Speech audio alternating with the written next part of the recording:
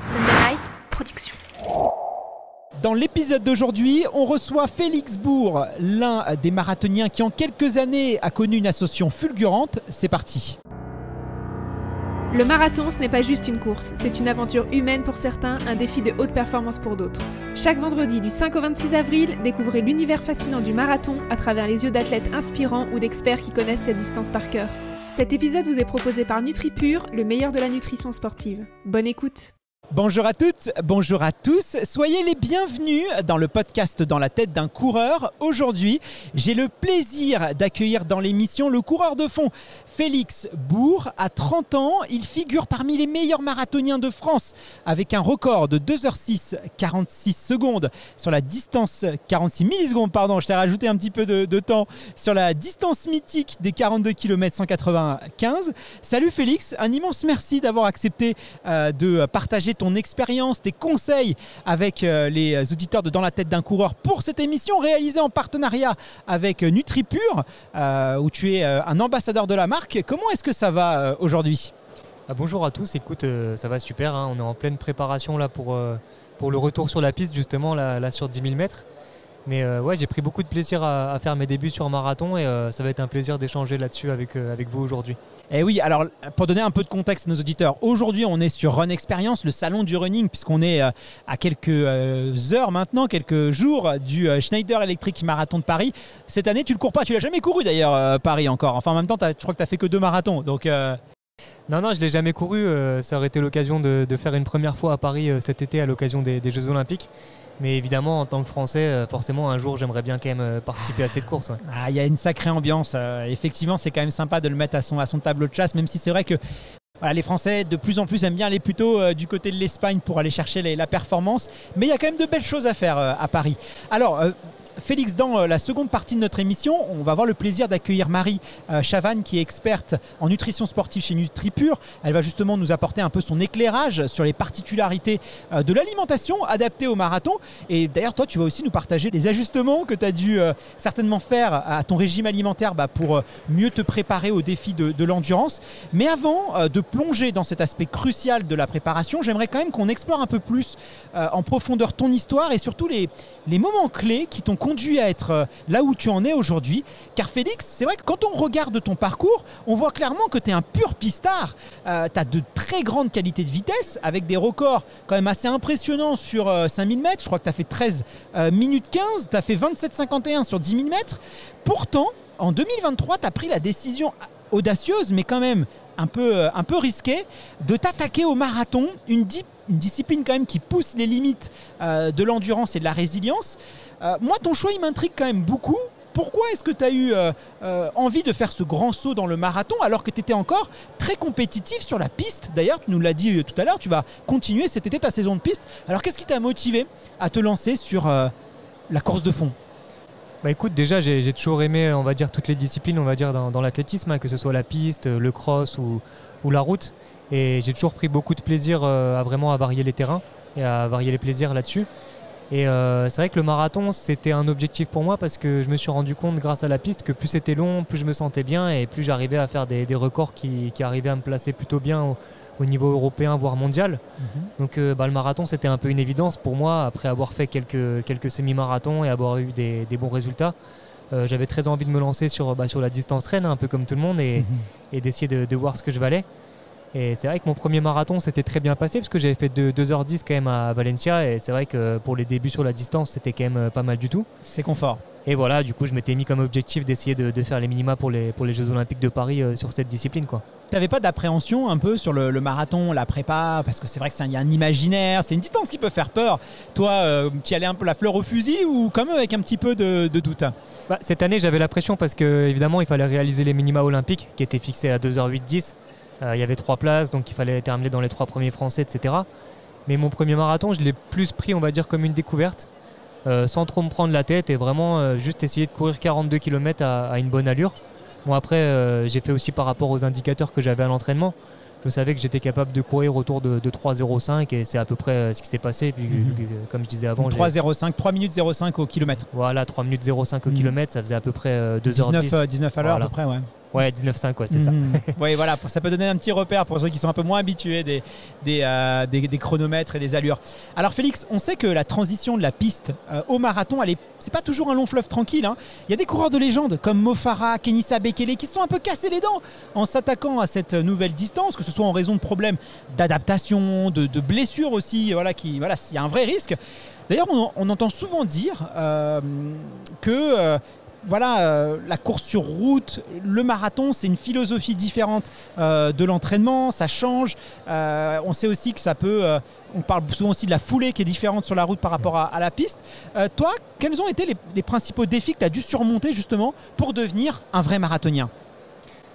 Bah, comme tu disais, déjà, il y a une histoire de foulée qui, rentre en compte parce que déjà, le passage de la piste à la route, forcément, il y a une petite modification au niveau de la foulée.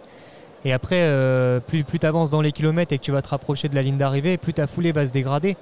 Donc moi, la problématique, ça a été de, de faire un gros travail en salle de musculation avec mon préparateur physique pour essayer, euh, j'ai envie de dire, de, de retarder le plus possible cette dégradation de la foulée, en sachant que j'ai une foulée quand même assez aérienne. Mhm. Et après, il y a toute la problématique de, de nutrition pendant la course, que ça, euh, c'est quelque chose qu'on ne connaît pas, je veux dire, ni sur semi-marathon, ni sur 10 000 mètres. Euh, c'est vrai que sur semi, nous, vu qu'on court autour d'une heure, on n'a pas forcément besoin, ne serait-ce que de boire. Donc même sans parler de s'alimenter, déjà boire, c'était une découverte pour moi. Ah, on Et, se souvient euh, des, des- des- On reconnaît souvent les anciens pistards sur les marathons parce qu'ils font tout- toujours tomber leur ravitaillement. hein. ça, on les voit à la télé, c'est souvent. euh, Voilà, il vient de la piste et même les commentaires le disent il vient de la piste, il fait tomber ses ravitaillements parce que Ouais. ça se prépare. hein. Ça aussi, ça s'entraîne. On s'entraîne à, Ouais, attraper ça, une gourde à 20 km/h, c'est pas, c'est pas si évident que ça. hein. Ah, c'est pas anodin et euh, c'est vrai qu'il faut, il faut vraiment s'y préparer à l'entraînement. Moi, je sais que, que je l'ai fait sur 6-7 semaines à l'entraînement tous les dimanches, m'entraîner à boire tous les 5 km, même le plus régulièrement possible, parce que finalement, je pense que c'est ça la, la première clé de la réussite sur marathon. Quoi. Mhm, J'imagine. Alors, euh, ton premier marathon, tu l'as fait, tu, le disais tout à l'heure, à Valence en 2022. Tu as réalisé un temps de 2h10 euh, et ta performance euh, elle a été assez incroyable l'année suivante, en 2023, parce que tu as gagné 4 minutes en passant à 2h06-46. Il y a eu clairement un, déclic, j'imagine. Et justement, euh, c'est les ajustements, moi, que j'aimerais euh, qu'on parle aujourd'hui, que tu as, as apporté dans ta préparation, euh, par rapport à ton premier, par rapport à ton deuxième. J'imagine que ça a dû être euh, le premier un peu initiatique. Tu as dû refaire des réglages, tu as dû te dire, voilà, comment est-ce que j'améliore les choses? Et j'aimerais qu'on voilà, qu'on essaie de comprendre un peu bah, tous les apprentissages que tu as fait pendant ta prépa pour euh, gagner 4 minutes sur marathon. À ce niveau-là, c'est quand même assez incroyable. Du coup, dans un premier temps, est-ce que tu pourrais peut-être nous parler de la structure voilà, de, la structure type d'une semaine d'entraînement en prépa, mara- en prépa marathon pour toi Par exemple, combien de semaines euh, voilà, dure ta prépa marathon? Alors, généralement, c'est 12 semaines. Est-ce que tu respectes cette règle un peu euh, classique dans le monde du marathon? Et combien de séances hebdomadaires tu intègres euh, avec une moyenne en termes de volume kilométrique? Et après, on détaillera un peu tout ça. Alors pour faire le différentiel entre, le- entre les deux marathons, c'est vrai que la première prépa que j'avais faite, je l'avais faite sur 12 semaines justement. Et je trouvais que c'était un peu court pour moi parce qu'il fallait rentrer tout de suite dans le vif du sujet. Euh, moi, j'avais pas l'habitude de faire euh, beaucoup de kilomètres à l'entraînement. J'étais plutôt autour des 130, 140 par semaine. Et c'est vrai qu'aujourd'hui, pour parfait, il faut plutôt se rapprocher des 200, je pense, à ce niveau-là. Et euh, déjà, il a fallu le faire ça Tu progressivement. courais beaucoup quand même hein, pour un coureur de 5-10 000. euh, Ouais. C'était pas mal, ouais, ouais. C'est pas, franchement, c'est pas énorme. Euh, Mhm. vu- même aujourd'hui, les coureurs de 15, j'en connais beaucoup qui courent autour de, de 150, 160 par semaine. Donc c'était vraiment pas énorme. Et déjà, il a fallu que, que je prenne mon temps pendant deux ans pour euh, augmenter ce kilométrage progressivement quoi, et pas me blesser. Et ensuite, euh, sur les ajustements, ça a été beaucoup euh, de la musculation quand même, où Mhm. j'étais sur une séance de muscu pendant la première prépa. La deuxième, j'étais euh, sur deux séances hebdomadaires. Donc déjà, ça m'a permis de travailler beaucoup plus sur ce secteur. Et euh, pour la prépa de mes 2h06, euh, j'ai repris l'entraînement quand même encore plus tôt. Je me suis laissé trois semaines de plus. Donc c'était une prépa plutôt sur 15 semaines, en sachant que les trois premières semaines euh, étaient censées m'amener progressivement euh, pour, que, pour justement éviter tous ces problèmes de blessures et de tendinite euh, qui peuvent apparaître dans une prépa marathon quand on veut, quand on veut trop vite augmenter le kilométrage. Quoi. J'imagine. Alors c'est vrai que tu as des grandes qualités de vitesse. D'ailleurs, ton finish avait impressionné sur le marathon de, Valence où tu avais voilà, poussé une attaque pour quasiment revenir sur la, tête de course. Tu as, grillé la politesse à Morad Amdouni euh, d'ailleurs sur, que tu as dépassé euh, sur, la fin de course. Et voilà, tu es connu pour tes qualités de vitesse. Mais c'est vrai qu'il y a quelques années, quand peut-être le marathon était un peu moins populaire et plus euh, une course réservée à des coureurs, je vais pas dire d'un certain âge, mais voilà, avec une certaine forme d'expérience, et ben on nous disait que la vitesse ça servait à rien sur le marathon. Parce que effectivement, tu nous le dis, tu es à 3 minute 05 euh, voilà, du kilomètre, donc 19 à l'heure. Finalement, à quoi ça sert d'être capable de courir à 2,45, 2,40 au kilomètre, puisque on va jamais sur ces euh, très hautes vitesses. Euh, on se rend compte quand même qu'aujourd'hui, d'avoir une base solide en vitesse, c'est quand même important et que finalement, dans le très haut niveau, j'ai envie de te dire, tu bon en tout. On l'a vu euh, avec un de tes euh, confrères de l'équipe de France, Mehdi Frère, il fait deuxième au, France de cross. Euh, voilà, on peut le voir aussi sur la piste l'été. Et aujourd'hui, c'est vrai que les coureurs sont moins exclusifs. Hmm. Alors on va me dire, oui, il y a Eliud Kipchoge, mais Eliud Kipchoge, il a commencé sur la piste et puis très ah très jeune. Donc lui, l'historique, il l'a. On va dire les coureurs qui vraiment commencent que sur marathon ou ne font que du marathon il y en a très très peu. C'est aujourd'hui finalement dans le haut niveau, il faut être bon partout quoi. Ouais, c'est vrai. Et puis euh, c'est vrai que la, piste, ça apporte ses qualités de vitesse, mais ça apporte aussi ses qualités de pied qui font que justement avec un pied plus efficace, bah, on est aussi plus à l'aise sur des allures euh, type marathon. Et euh, justement, travailler sa vitesse au quotidien dans une prépa marathon, c'est aussi un moyen d'être encore plus facile après sur les allures marathon qu'on va mhm. travailler plus le week-end sur des gros blocs d'entraînement.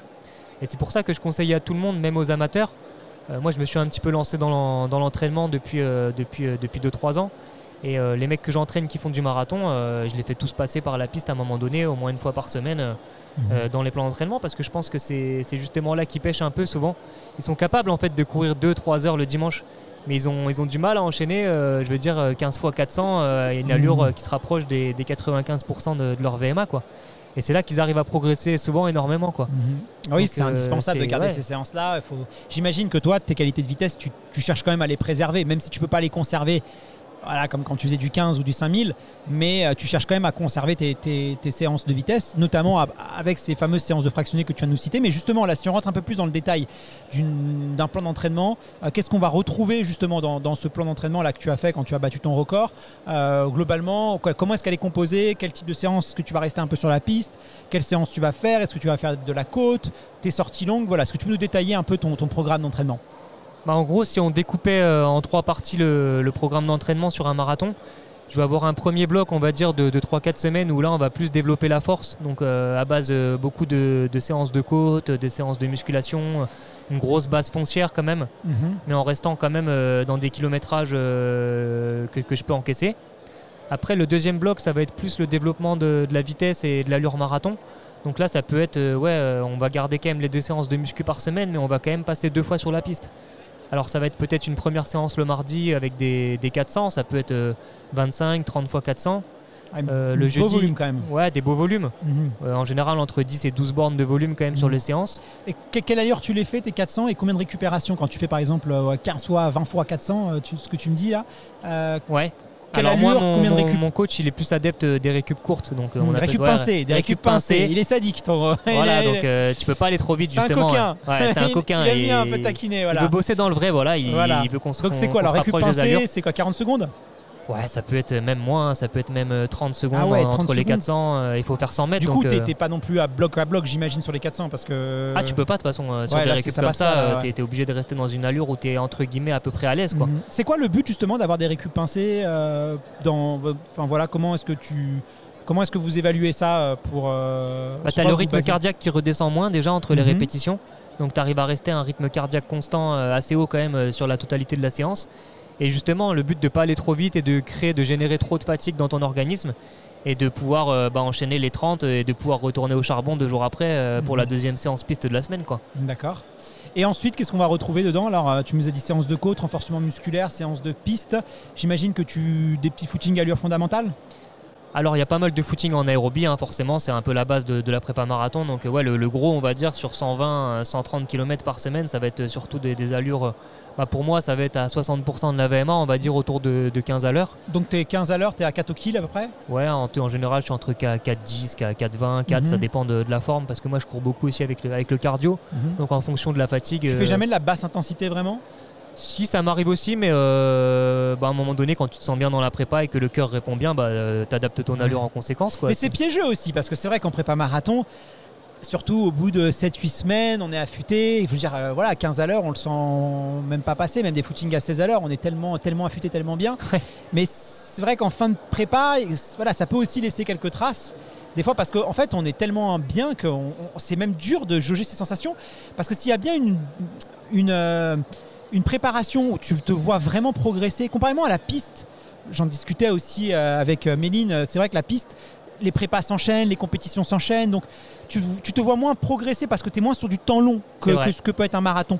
Et donc le marathon, c'est vrai que tu te vois vraiment progresser, tu t'affûtes aussi beaucoup, tu fais beaucoup de kilomètres, donc le corps change, et puis tu deviens un moteur, un gros moteur. Hmm. Et donc c'est vrai que tu, voilà, tu peux faire des, des sorties à 16-17 à l'heure et ça laisse zéro trace. quoi. Bah, ça laisse pas de traces, mais après, moi, je me laisse quand même en général euh, trois semaines après ma, ma, plus grosse semaine, trois semaines de récup. On va redescendre en kilométrage jusqu'au marathon pour justement arriver à 100%, mmh. avoir cette fraîcheur et avoir cette, fraîcheur mentale aussi et cette envie de, tout donner le jour de la course, quoi, parce que c'est vrai que c'est hyper important aussi. Est-ce que tu peux nous partager euh, un exemple d'entraînement qui t'a quand même aidé à améliorer ton endurance d'être plus endurant parce que tu viens quand même plutôt de la basse distance. Donc pour travailler vraiment, te dire voilà, il faut qu'au 30e kilomètre d'un marathon, je sois capable de tenir le cours, même d'accélérer. Voilà des exemples un peu de semaine, toi, qui, qui t'aident vraiment à booster ton endurance. Alors je dirais pas qu'il y a un entraînement, mais en fait euh, je pense que la clé sur le marathon c'est la, c'est la discipline, quoi. C'est le, essayer d'être le plus régulier possible, euh, faire, faire enchaîner les grosses semaines, justement pas en faire une et après plus rien faire. Il faut être capable d'enchaîner ces grosses semaines et, de les encaisser physiquement. Et c'est ça, c'est là où tout est la, la, difficulté de la prépa marathon quelque part, quoi. Et euh, ces sorties longues, là, voilà, là on passe à, j'imagine tu dois être à 15 heures, même peut-être entre 15 même voire 20 heures avec la musculation. Euh, d'entraînement, peut-être ouais, ouais à peu près un petit peu moins quand même, ouais, autour de plus 13-14 heures. Mais après, euh, comme je disais, moi, vu que je cours assez vite quand même, euh, mhm. je fais beaucoup d'entraînement en endurance et qu'il n'y a pas beaucoup de très basse intensité, forcément, je passe moins de temps à courir. Mais au final, le, kilométrage, il se rapproche à peu près de, ce que les mecs qui courent 230, de 240 km par semaine arrivent à faire. Quoi. Et ça n'a pas été trop long, justement, trop fatigant, même d'un point de vue mental, parce que aussi le marathon, on y pense tout le temps. Tu vois, c'est vrai que c'est une course qui, est presque obsédante par rapport à des 10 kills ou ce genre de choses. Euh, et puis c'est un objectif aussi. Je veux dire, on tente un peu le tout pour le tout parce que un 10 kills, tu peux en... remarque un 10 kills, ça laisse des traces, mais un 1500, tu peux un des 8, des coureurs de 8, t'enchaînes les compétitions, c'est pas grave, ça se passe pas bien, tu vas sur une compétition. Le marathon, il y en a pas des masses dans la saison, donc on a peu le droit à l'erreur. Comment est-ce que toi tu as vécu ça bah, disons que là, forcément, tu es concentré pendant trois mois sur un objectif euh, final, mais euh, moi, je me suis quand même mis un objectif intermédiaire à, cinq semaines du marathon. C'était le, semi de Valencia, où j'ai réussi à faire mon record aussi d'ailleurs. tout déchiré, euh, ouais, sur le. Voilà, j'ai réussi à faire une super course. Donc, déjà, ça me motivait pour le premier bloc, en sachant que j'avais cette course-là quand même assez importante qui allait arriver à peu près à, la moitié de la prépa. Mais après, ce que tu peux faire aussi, c'est que le dimanche, plutôt que d'aller faire une sortie de, de 35 bornes tout seul le long du canal, c'est aller faire un semi-marathon où tu vas faire ton bloc d'entraînement pendant le semi-marathon.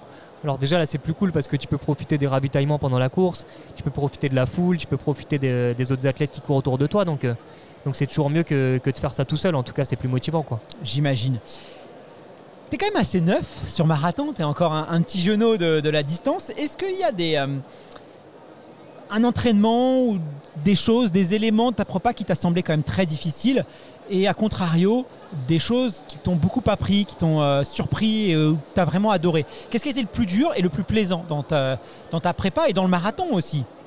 Bah écoute, moi là où je prends le plus de plaisir finalement, euh, comme, un, comme un vrai coureur, j'ai envie de dire, c'est dans la difficulté. quoi. C'est la sortie du dimanche la plus importante, où là tu vas justement aller chercher des kilométrages hyper importants et qui vont te donner des, des, des, très bonnes indications sur, sur le jour de la course que tu vas pouvoir faire. Et moi c'est ça qui, ça qui m'intéresse. quoi. Donc non, finalement, j'essaye de prendre beaucoup de plaisir même dans la difficulté et d'essayer bah, de me relâcher, tu vois. Mmh.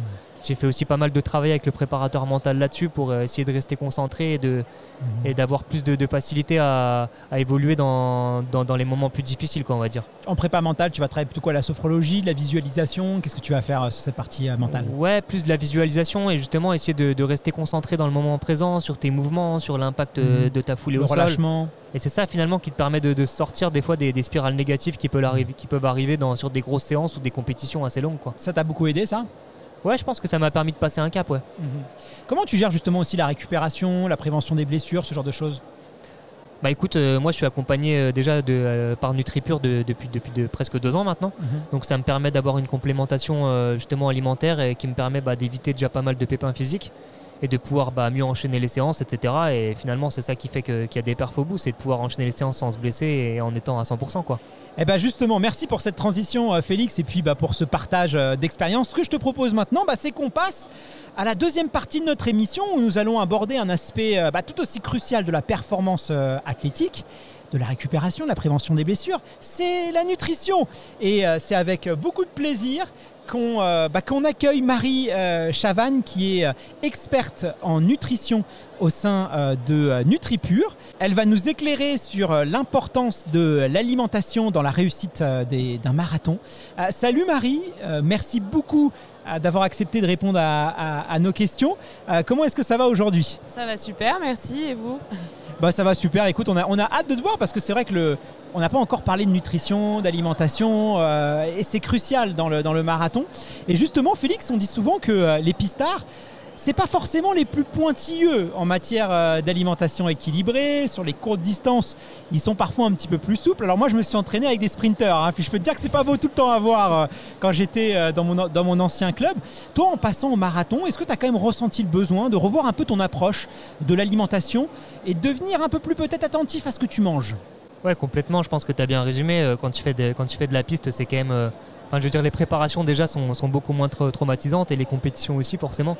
Donc euh, tu fais un petit peu moins attention à tout ça, même si finalement bah, l'avoir fait déjà plus jeune, ça aurait pu m'apporter beaucoup, je pense.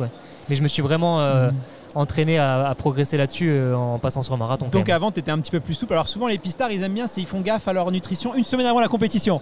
ils se disent, bon là, peut-être que je m'y intéresse. Ah, mais c'est trop tard. ouais, c'est ah, assez limite. Mais bon, après, on est plus jeune, donc c'est vrai que voilà, c'est aussi, on peut avoir un petit peu plus de, souplesse. Alors Marie, toi, tu travailles pour, euh, pour NutriPure. NutriPure, c'est vrai que c'est une marque qui est euh, de plus en plus populaire, appréciée parmi la communauté des sportifs, tant amateurs que professionnels d'ailleurs.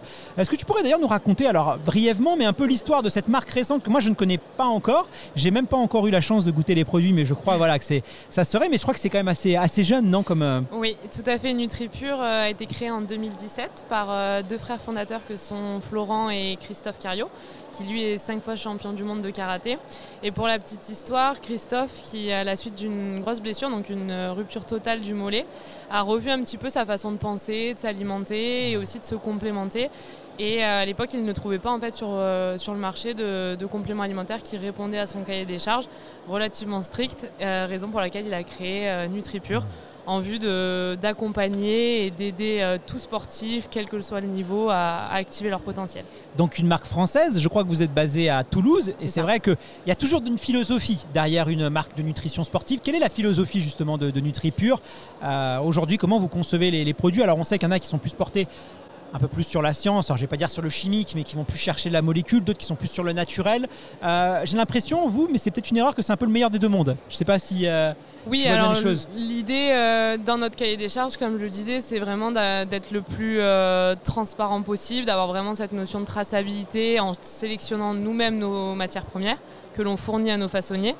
Euh, et derrière de respecter euh, le, cahier des charges sans, sans, OGM, sans nanoparticules, sans tout ce qui est ultra transformé, d'être le plus brut possible, le, plus qualitatif pour euh, accompagner, comme je le disais, tout sportif à, activer son potentiel. Alors c'est vrai que nous, les, les, coureurs à pied, alors voilà, ce n'est que mon avis personnel.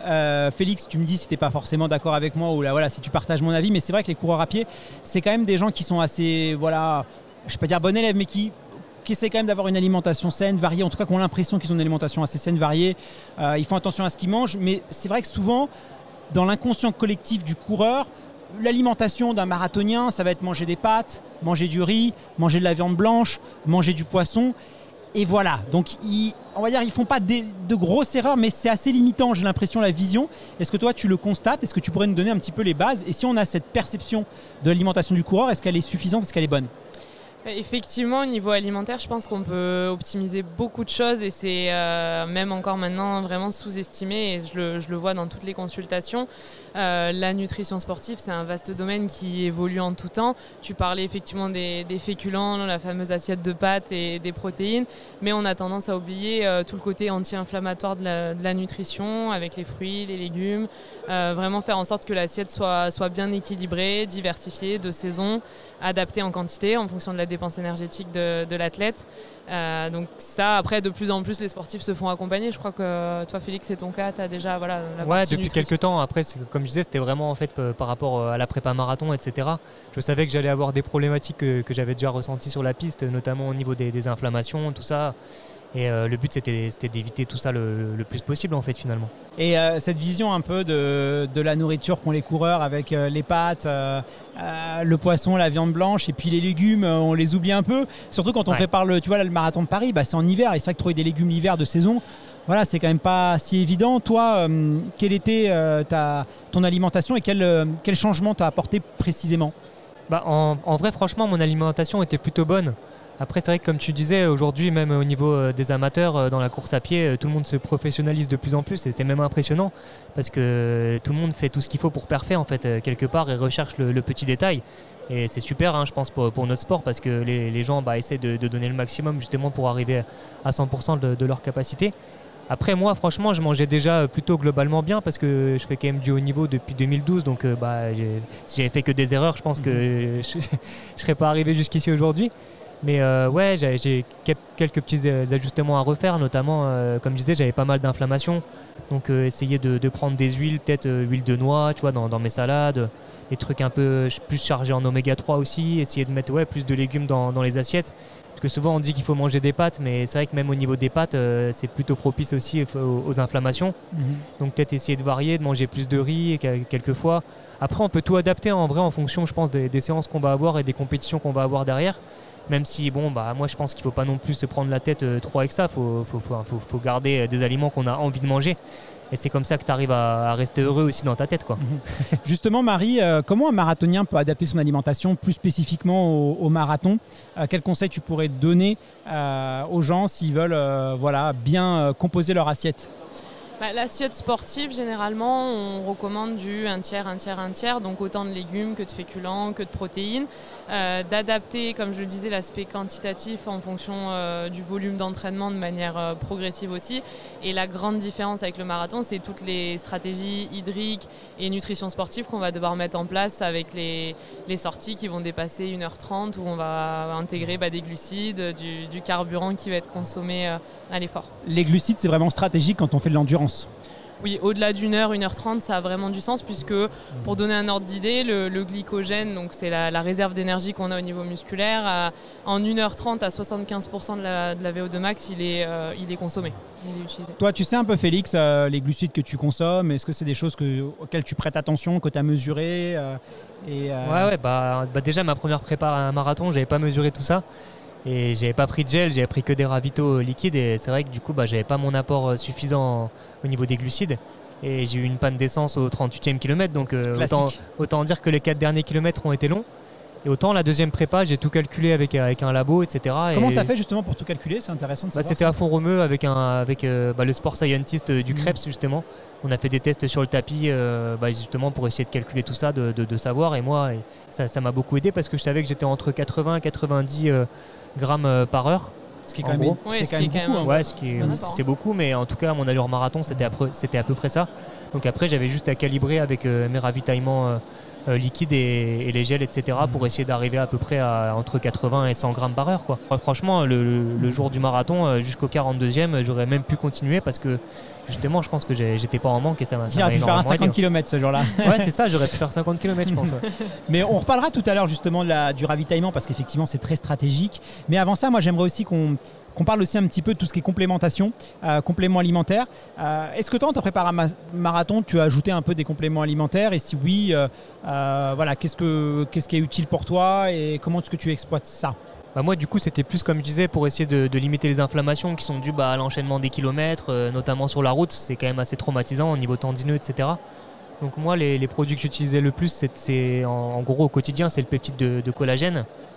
Euh, je recommande le, le goût citron parce que j'adore.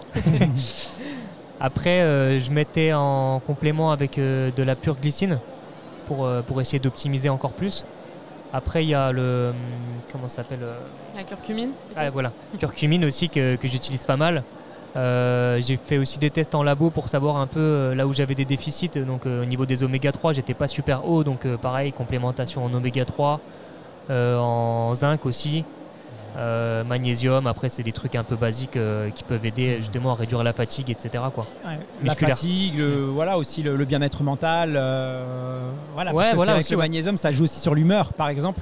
Et il y a des petites choses comme ça où on peut vraiment, avec assez rapidement, améliorer aussi son bien-être. Et c'est important parce que comme on cumule de la fatigue, si en plus on vient rajouter des carences qui vont jouer sur notre, notre état de bien-être, c'est quand même, c'est quand même pas terrible. Vaut mieux être bah, de bonne humeur quand on prépare un marathon. Justement, euh, toi Marie, dans quelle mesure tu recommandes les compléments alimentaires pour les marathoniens? Alors c'est vrai que et nous, ça a toujours été un peu la philosophie dans le podcast et ça la restera. Il faut euh, privilégier toujours une alimentation saine, variée, équilibrée de saison.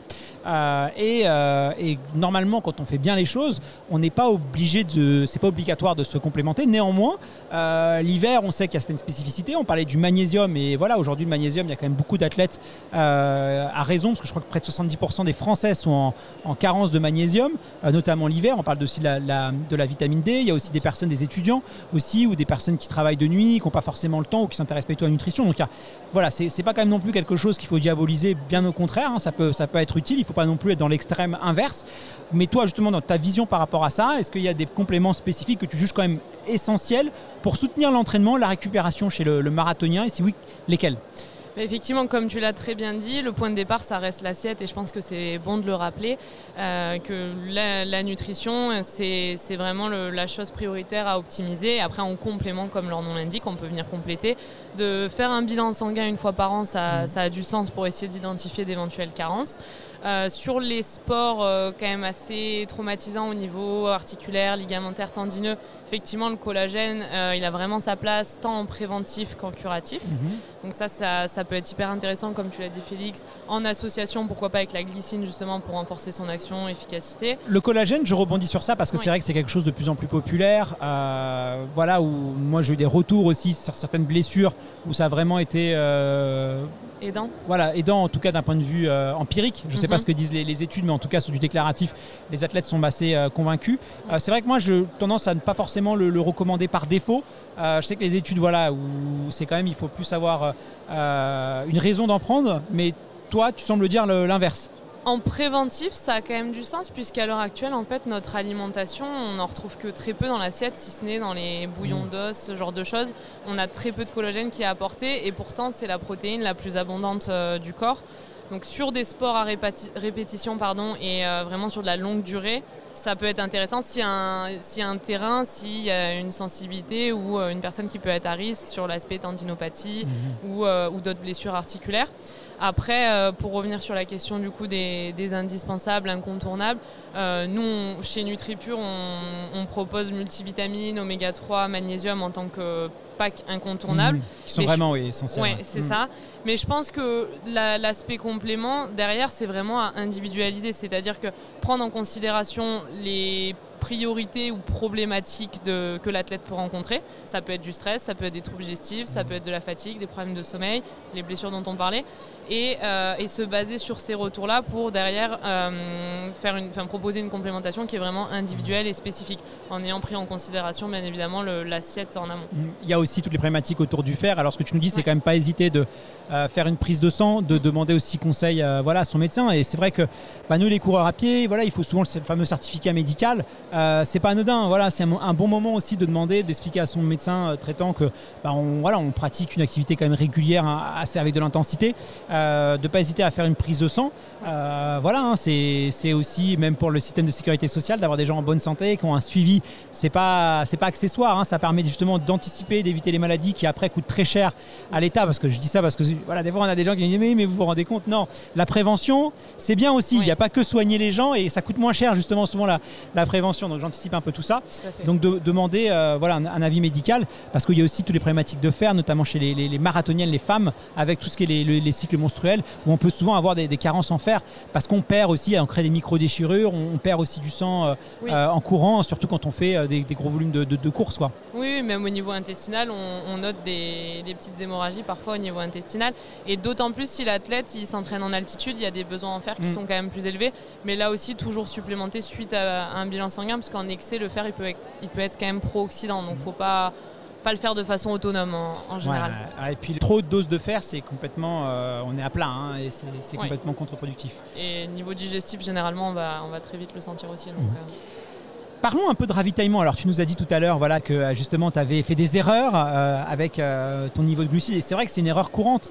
Euh, là, aujourd'hui, on est sur le salon euh, Run Experience. Euh, je suis sûr qu'il y a plein de marathoniens. Ils ont pris un petit gel qu'ils vont mettre voilà, un peu dans leur short, qui se dit je vais le prendre au 30e kilomètre ou au 20e kilomètre et puis ça va faire le job. quoi. Et qui ne s'intéressent pas vraiment. Ils se disent bon, voilà, on prend même un peu la veille pour le lendemain. C'est encore des erreurs classiques. toi, est-ce qu'il y a d'autres erreurs que tu as fait et comment est-ce que tu adaptes maintenant ton ravitaillement? Quels produits tu utilises? Qu'est-ce que tu peux nous en dire? Non, après, c'est pas vraiment une erreur que j'avais faite, c'est juste que j'ai sous-estimé en fait l'importance des ravitaillements dans, le marathon euh, sur, ma première euh, sur la distance. Et je m'étais pas rendu compte de, l'importance pour la performance finale, finale de, tout ça. Et c'est vrai que je l'ai payé cash, comme je disais, dans, les 4 derniers kilomètres. Alors que finalement, euh, quand tu arrives à calculer tout ça en amont et que tu arrives à, faire un plan justement de, ravitaillement efficace, bah, tu peux aller au bout, au bout sans problème. Donc c'est hyper important. Alors après, c'est vrai que nous, on a la chance d'avoir tous les 5 km euh, des tables avec des ravitaillements euh, individualisés. Donc on peut mettre euh, dans l'eau, on peut mettre voilà, par exemple la boisson longue distance de NutriPure, on peut, on, peut le faire tous les 5 km. Alors c'est pas forcément le cas justement pour les amateurs qui souvent ils ont que de l'eau sur, sur les tables, donc là c'est compliqué. Ils vont être obligés de complémenter ou en gel après, je sais pas trop ce que ça pourrait représenter euh, sur une allure, je sais pas, par exemple autour de 14 km/h. Ouais, pour les amateurs, euh, même pas hein, sur un 3h30, 4 euh, ouais, ou sur un 3h30, ouais, je sais pas. En quantité de glucides par heure d'effort, on va toujours essayer de chercher entre 60 à 90 grammes de glucides par heure. C'est quand même pas mal. Hein. En vue d'optimiser les performances et essayer d'échapper du coup à ce fameux mur du marathon qui, qui est démonstratif directement de, de l'affaiblissement de nos stocks d'énergie, de, de glycogène. Donc après, oui, tu parlais du, longue distance, ça peut être via la boisson d'effort, via des stratégies euh, de compote, de gel, des choses vraiment digestes qui ont tout, dans tous les cas été testées à l'entraînement, ça c'est la règle d'or. on n'achète pas le euh, veille sur le salon euh, pour le lendemain du marathon. non, ouais, c'est un peu risqué, mais ça peut passer, hein, parce qu'il y en a qui me disent ah, mais moi j'ai fait ça, ça c'est rien. Oui, ça, peut passer, mais ça peut aussi. Ouais, c'est le test and learn. Hein, on a envie de dire, on, teste et on apprend, mais ouais, Après, c'est plus une histoire de goût, je pense, pour le, pour le ravitaillement. Il y en a qui préfèrent les solides, il y en a qui préfèrent les liquides. On sait que dans une barre ou dans un gel, il y a à peu près 30 grammes, il me semble. Donc euh, par heure, ça représenterait à peu près 2 quand même. Il mm. faudra en bah, prendre à peu près ouais, par vaut mieux. Euh, moi, je sais qu'il euh, y a des nutritionnistes qui recommandent des prises toutes les 20 minutes, justement pour pas avoir à prendre des, grosses doses toutes les heures. Mieux vaut fragmenter et prendre des petites doses toutes les 20 minutes. et c'est quand même une bonne stratégie pour justement pour les coureurs, mais même des coureurs en 2h30 hein, quand on a. Parce que si vous comptez trop, alors des fois on peut mettre un 6 Ségour, nous, quand on est en 2h30, 3h sur marathon, on peut aussi, mais il y en a plein. C'est une, il y a quand même plus de risques que, que, l'élite où on va vraiment dans des zones qui sont sécurisées et tout. Donc voilà, c'est mieux de. Et, je pense que c'est une erreur que beaucoup font, c'est de fractionner. C'est toutes les 20 minutes des petites doses. Euh, et ça, ça se travaille aussi à l'entraînement. Alors justement, Marie, est-ce que tu peux nous, nous, voilà, nous rappeler un peu l'importance du ravitaillement sur un marathon, des stratégies que toi tu recommandes pour s'assurer que le marathonien il reste hydraté et énergisé tout au long euh, de la course? Quelles sont les bonnes pratiques? Effectivement, comme tu le disais, cette notion de, fractionnement, elle est indispensable. Au niveau de l'hydratation, on va toujours anticiper la sensation de soif et toutes les euh, oui, 15-20 minutes faire en sorte d'avoir un, petit apport hydrique. Pourquoi pas avoir euh, une flasque d'électrolyte, une flasque de boisson énergétique, faire, en sorte vraiment d'avoir les, apports au, bon moment pour apporter au corps tout ce qu'il va perdre euh, en termes de vitamines, de minéraux, de glucides. Euh, lors, de, lors du marathon et de venir compléter avec un, apport euh, par le biais euh, des, gels, des compotes, des bananes, des purées, de, ce qui passe ou ça peut être des barres aussi.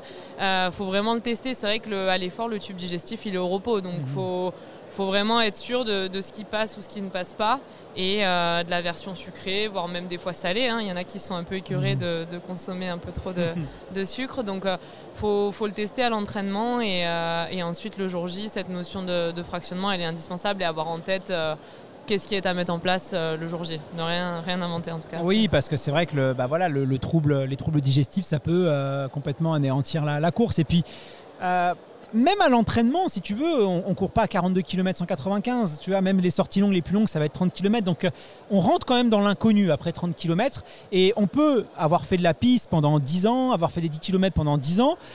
N'avoir eu jamais aucun pépin physique sur, euh, sur marathon, euh, avoir fait son- ses premiers entraînements, ses sorties longues, 25-30 km, ça va. Et le jour du marathon, c'est là où on se rend compte que bah, ouais, on a quand même des, voilà, un- des, des- des choses qui se réveillent et qu'on n'avait pas vu avant. Et ça, c'est un vrai risque. Je sais pas si toi, tu as, eu ces, ces soucis-là, ces écueils-là. Bah ouais, d'où l'importance justement d'anticiper à l'entraînement et déjà de, de mettre en place euh, sa stratégie de ravitaillement sur les sorties longues du dimanche pendant 3, 4, 5, 6 semaines à l'avance. Moi, c'est ce que je fais tout le temps maintenant et c'est comme ça que, que, que, que j'ai pas eu de surprise justement. Pareil, au, début, au niveau des gels, euh, j'avais l'habitude d'en prendre un complet et des fois j'avais des points de côté euh, pendant les sorties longues. Donc euh, maintenant, ce que je fais, c'est que je préfère les prendre en trois fois. Au moins, je sais que mon tube digestif les- le digère bien et que, que, que j'ai plus ces soucis euh, au niveau des, des points de côté. Donc, euh, c'est déjà quelque chose que, que j'ai anticipé à l'entraînement et qui m'a permis d'être performant le jour de la course. Et, et je me suis pas arrêté à cause de ça déjà. Donc, c'était déjà une, une petite victoire. Quoi. Alors justement, Marie, je crois que vous lancez euh, pour le marathon de Paris une nouvelle barre énergétique. Euh, tu n'as pas pu la goûter parce qu'elle est, euh, même toi qui es ambassadeur, alors je l'ai pas goûté non plus, mais je crois qu'elle est vraiment toute nouvelle. C'est une exclusivité ouais, sur le, le salon du Run Experience, donc vous, pouvez, vous pouvez la tester. Donc c'est une barre longue distance, c'est ça pour le marathon, donc une barre énergétique. Là, on a combien de glucides? Elle est, elle est. Là, on est va la goûter. Tiens, on va, on va, on va faire un peu d'ASMR. voilà, à nos 31, auditeurs. Voilà, elle est bien 31 compacte. hein. grammes pour être vraiment précis. C'est une barre qui fait 42, 42 grammes et euh, pour le coup on a 72% de fruits. On va retrouver de la vitamine C, vitamine B1, vitamine B2 et, euh, et un ratio en glucides qui est vraiment intéressant pour, euh, pour vraiment retarder le- la fatigue euh, et avoir le, suffisamment de carburant. Donc fruits rouges, on, on sent vraiment le fruit. euh, c'est impressionnant. On sent vraiment le, le- le Celles-ci fruit elles, rouge. elles viennent d'être faites, hein, elles sont, Ah, elles sont bon, toutes ouais. fraîches. Ouais. Et euh, le fruit rouge, c'est pas anodin. hein, c'est parce que c'est voilà, c'est des fruits qui sont digestes. euh, Oui, il y aura d'autres, une Mm. deuxième version euh, un peu plus tard euh, dans l'année, mais euh, effectivement, c'était une demande aussi. Et là, ce qui est intéressant, c'est qu'il y a 72% de fruits, mais on a quand même veillé à ce qu'il n'y ait pas, pas beaucoup de fibres. On est à moins de 2 grammes. Pareil, en protéines, on est à moins d'un Mhm. gramme, donc c'est vraiment une barre qui va s'assimiler très rapidement. Donc c'est pour le coup idéal pour marathon. Et du coup, il y aura quoi comme parfum différent? Il y en aura plusieurs, j'imagine? Alors, je sais pas si je peux le dévoiler Allez, encore. allez, on est euh, entre nous là, on y va. on Faudra y être va. patient. alors. Ouais, je, je pense que la R&D va pas. Ah, mais c'est important de choisir un- une saveur pour les auditeurs. Mais C'est par important contre, de si choisir une saveur intéressante pour, pour l'athlète aussi. quoi. Oui, euh, bien sûr, tout à fait. Et si toi, tu as des attendus euh, en termes de goût, euh, tu, tu peux tout à fait nous les partager. Et ça, ça peut être l'occasion qu'on travaille derrière dessus si tu, tu me dis euh, ce que, ce que tu aimerais avoir et puis on, on verra ce qui Ah, moi, c'est vrai qu'en général, euh, même sur mes ravitaillements euh, liquides, je mets souvent fruits rouges parce que moi, personnellement, j'aime bien et je trouve que ça passe bien. Elle est Mhm. délicieuse, hein, elle est vraiment très très bonne. Sinon, Ah. citron, c'est pas mal Bravo. aussi en général. Après, il y en a qui préfèrent au chocolat. Après, voilà, c'est une histoire de, de goût. hein, enfin. bien sûr, oui, oui, oui. Mais déjà, envoyer un message au cerveau, euh, quelque chose de positif, c'est Oui. c'est- c'est bien pour, pour Bah, l'athlète le pendant l'effort. le sucre, ça, ça active quand même le circuit de la récompense et, Ouais. et euh, Ouais, même, ça ra- ça même en bouche, hein, les études elles le montrent, il y a des bénéfices. Euh, Mais des fois, le- c'est bien de se raccrocher justement à son ravitaillement, à ce- tu vois aussi à Mm. prendre du plaisir parce que c'est vrai que important. euh, si on n'aime pas son ravitaillement et dans les bars, moi j'en ai quand même goûté pas mal. De Ouais. par euh, voilà, je suis coureur, de par mon métier aussi, j'en voilà, j'en vois. Et c'est vrai que bon, si on prend pas de plaisir à voilà. Bon après les goûts changent avec l'effort. hein. Des Oui. fois, euh, ça aussi il faut faire attention. Ah, c'est la récompense tous les Mm. 5 km. Un bon, Ouais, un voilà. bon ravitaillement. voilà. si on n'a pas fait les 5 km suivants, on ne l'a pas mérité. Euh, avant de se quitter, est-ce que tu, tu sais un peu les, les calories que tu brûles euh, Parce que ça, c'est vrai que c'est un écueil aussi en nutrition, c'est que souvent les coureurs à pied, ceux qui sont plus à la recherche de performance, ont tendance à sous-estimer les dépenses énergétiques et pas forcément à adapter. Alors on est, c'est vrai qu'il y a un peu cette culture, on aime bien perdre du poids, on a l'impression que, mais trop perdre de poids aussi on prépare marathon, ça peut être euh, délétère. Euh, Est-ce que toi tu fais attention à ça? Parce que c'est vrai qu'il faut apporter derrière les calories. Euh, et c'est pas si évident que ça quand tu veux apporter de la bonne calorie, surtout si des personnes qui sont végétariens ou ce genre de choses. Quand tu as euh, 4000 euh, dépenses, il faut pouvoir d'ailleurs, voilà. Ouais, ouais, non, mais c'est clair. Après, j'avais essayé de le calculer à un moment donné et après, je me suis rendu compte que c'était vraiment compliqué de calculer hyper précisément combien de, calories tu, tu brûles ou tu ingurgites chaque jour. Mais je sais que j'étais à peu près quand même autour de 3000. Donc euh, après, bon, nous, il faut savoir qu'on s'entraîne quand même autour de 30 km par jour en prépa marathon. Donc forcément, on, on en brûle 3000 en plus de, de tes, de tes 3000 calories en plus, De ton métabolisme ou global Bah, euh, en tout journée cas, euh, globalement, sur la journée, je crois ça que me c'était à semble pas beaucoup. Hein. me Sur- ouais, si c'est 30 km Ah par ouais, jour, je pense que tu peux être que plus, à un peu plus, mais Ah après ça dépend de ton poids, ta taille, ton âge aussi. Ouais, je crois que c'était entre Je pense. 3000 et 3005. Parce que tu Après, es à comme je dis, c'est 2005, t'es à compliqué, euh. 2005 euh, au niveau classique euh, pour une personne euh, voilà, je peux dire sédentaire mais avec une activité régulière. Je pense que si tu fais 30 bandes par jour, tu brûles plus que 500 calories. hein. Ah, Oui, je sais pas. oui, ouais. Ou alors euh, j'ai peut-être mal calculé, c'est possible. C'est peut-être 3000 en plus des. euh, Ouais, peut-être en plus ouais, à ce moment-là, je sais pas. Je pense que t'es plus près. Enfin, ça me semble, je parle sous ton contrôle, Marie, mais euh, je pense qu'il est plus près des 3500, 4000 calories jour. hein, avec 50 bandes par jour. hein. Oui, si vraiment tu es à 30, en période, de- je pense, de prépa, euh, si tu fais. Plus euh, les muscles, ou si tu fais un peu de renforcement musculaire en plus. euh, Mais après, euh, ça me choquerait pas que tu sois à 3005 sur une journée. Euh, si tu as l'alimentation suffisante en intra-training qu'on ne compte pas dans la ration, si tu vois Mhm. tu as ta, boisson d'effort, tes gels, Ouais. etc., pendant l'entraînement, tu vas pas être en, tant en déficit avec 3000, 3005. Non, ça, ça me paraît quand même cohérent. euh, Ouais, sous après, réserve que tu t'alimentes pendant les 30 km, que tu Oui, vraiment oui. La, la bonne euh, gestion Ouais. à Ouais, l'effort. ça c'est à chaque fois que je fais 30 Ouais. km, de toute façon j'ai toujours les ravitaux tous les 5 km, etc. Donc euh, on fait attention à tout ça. Ouais. Mais en tout cas, j'ai jamais eu de soucis particuliers en, en faisant attention Ouais. euh, quand même à l'alimentation. Tu manges quand même, tu veilles quand même à bien manger et à manger en quantité suffisante, euh, j'imagine. Voilà, ouais. J'essaie de manger euh, Mhm. vraiment à ma faim. Euh, si si j'ai très faim, je mange beaucoup. Là, il n'y a pas de souci avec ça. Ah, ouais. Si j'ai envie de boire un verre de vin, il n'y a pas de souci non plus. Ah, Même, quand même- même un petit peu. hein. Même si, euh, bon, voilà. il y a- Plutôt il y a- vin rouge, plutôt vin blanc. plutôt dire vin les, les fruits rouges, apparemment. Ah oui, il aime bien les, les fruits Le rouges, bien. hein. Le raisin, c'est son truc. Non, j'aime bien le vin rouge, j'aime bien la bière, mais plutôt vin rouge quand même. Et c'est vrai que bon, bah, en fonction de la séance que, as, que, que tu viens de faire ou que tu as le lendemain, bon, bah, il y, a- il y a des jours qui sont plus pro- propices que d'autres, mais il faut quand même garder euh, cette notion de plaisir, je pense c'est important. ouais. Bon, bah merci infiniment euh, Félix, merci beaucoup euh, Marie aussi pour euh, tes précieux conseils. Merci également à NutriPure de nous avoir accueillis voilà, sur son stand et puis d'avoir rendu cet échange possible. Merci aux équipes de Sunday Night Productions, avec Zoé sur la, au son, on a Pierre à la réalisation et Alix à la coordination. Merci à toutes celles et ceux d'avoir suivi cet épisode jusqu'au bout. Rendez-vous dès lundi prochain pour un nouvel épisode du podcast Dans la tête d'un coureur. À très bientôt.